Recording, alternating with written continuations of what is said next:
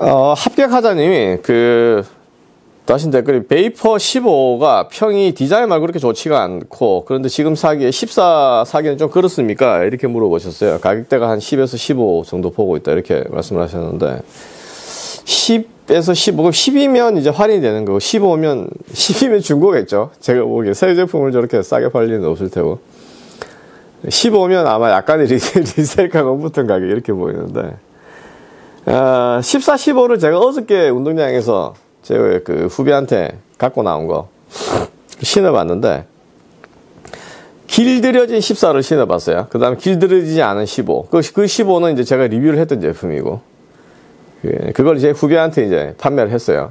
판매를 했는데 어, 그 15를 신었을 때의 그 느낌.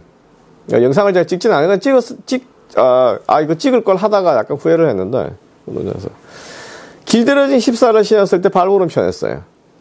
그 다음에 길들여지지 않은 15도 제 생각에는 upper 자체가 그 Hyper Screen인가 하는 어, 명명되어 있는 그 upper가 아, 별, 별 특별한 점이 없는 인조 가죽이에요. 그러니까 그 섬유라기보다 일종의 그 PU 계열, 플라스틱 계열처럼 되어 있는 그런 섬유로 되어 있는 거여서 어, 두 개는 사실은 14나 15는 어퍼의 질의 차이가 없다 이렇게 보였고 크게. 어, 아마 15도 길들여지면 14처럼 편해지지 않을까 last 부분은. 그런 느낌을 들었었어요.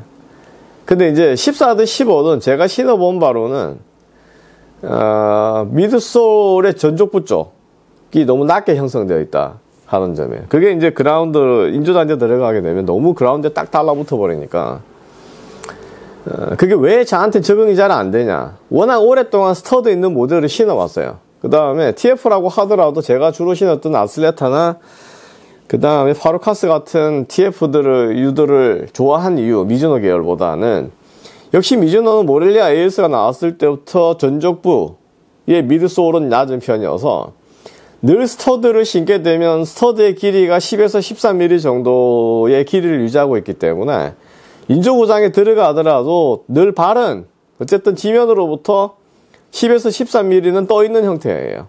그러니까 그라운드와 그라운드의 그 표면 높이와 그 다음에 신발을 신고 있는 제 그 발의 높 위치가 어쨌든 간에 최소 10mm 정도의 갭이 있었기 때문에 이것보다 더 낮은 형태로 midsole이나 stud가 그 길이가 짧아지게 되면 그라운드 지면에 너무 딱 달라붙는 느낌이 들어요.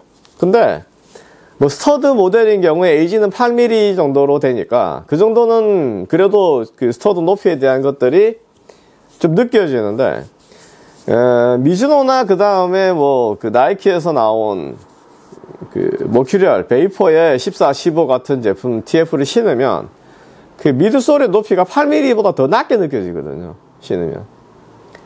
예, 그러니까 이제 딱 신고 들어가면 이 딱 힘에 너무 착 달라붙어가지고 어 그 뭐라 그럴까 그러니까 그 충격에 대한 우려가 있다고 해야 되나? 그러니까 미, TF라 그러면 제일 큰 장점은 어쨌든 미드솔이 들어가고 에바 같은 그런 충격 흡수 소재가 들어가서 일정한 쿠셔닝이 있고 약간 높이가 확보되어 돼. 그게 가장 이상적이었던 거는 역시 제 경우에서는 아슬레타거든요. 근데 이제 아슬레타도 미즈노 계열 이런 거 신으셨던 분들은 그 높이감이 상당히 떠 있는 것처럼 느끼는 경우들이 많아요. 처음 신으시면. 그게 이제 적응이 되고 나면 상당히 좋은, 좋은데, 왜냐하면 제가 느끼기에는 그 약간의 억측이라고 할 수도 있는데, 추론상으로 억측이라고 할 수 있는데, 이 지면에 너무 낮은 것보다 약간 떠 있는 것들이 공이 굴러오는 공을 그 임팩트를 할 때 임팩트를 정확하게 될 수 있는 그러니까 오차를 줄이는 거. 그러니까 공이 이렇게 있다고 하면 바, 지면에 있는 발이 이 정도 밑에서부터 시작하는 경우랑 약간 높은 경우에서 시작할 때 감각적으로 오랫동안 익숙해 있는 거는 말씀드렸지만 stud 높이 이상의 높이를 가지고 기본적으로 공을 터치를 하던 버릇이 남아 있으니까 이게 낮아지면 어, 몇 미리가 더 낮아지게 되면 공 임팩트 할 때 초기에 늘 애를 먹는다 이거죠. 물론 이제 굉장히 한 제품을 오래 사용을 하게 되면 그 부분도 당연히 적응이 되는 부분인데 어쨌든 간에 처음에 그러면 이제 그 부분이 상당히 낯설고 그 다음에 이 공 차는 발뿐만 아니라 짚는 발도 어쨌든 그 미, 저 미드 소리 그 낮으면 짚는 발 자체가 아래쪽에 내려가 있으니까 다른 그 약간 높은 쪽보다는 그 그게 예를 들면 10mm짜리와 그 다음에 만약에 6mm짜리 좀 4mm 차, 5mm 차이가 나는 거잖아요. 4mm에서 5mm. 그 정도 차이는 상당히 차이라고 봐야거든요. 공을 차는데 5mm를 옆으로 찬다 그러면 당연히 빗나가겠죠. 그러니까 에, 그런 부분에서 미세한 차이감들 때문에 이 낮은 쪽에 있는 것들을 제가 좋아하지 않아요. 그래서 어, 지금 이분한테 14, 15는 사실 크게 이제 그 차별선 없는 것 같다. 어포도 그렇고 그 다음에 아웃솔의 느낌 자체가 그래서 그럼 그 가격이면 차라리 다른 거를 사시는 게 낫지 않나. 그러니까 뭐 대안으로서 아슬레타나 캐피텐 이런 류를 사는 게 낫지 않나 생각이 들어요. 그러니까 C3 같은 경우도 아주 높진 않지만 그래도 미즈노보다는 조금 더 앞쪽이 높다고 느끼거든요. 1, 2mm는 더. 그래서 상당히 만족감을 주는 건데, 아, 나이키 계열, 미즈노 계열은 제가, 그러니까 미즈노의 그 살라인가요? 그 풋살용으로 얇게 나오는 거. 그건 뭐 극단적으로 그렇고, 그 다음에 모렐리아 TF 이런 거는 이제 그 약간 높은 편이죠, 그거는.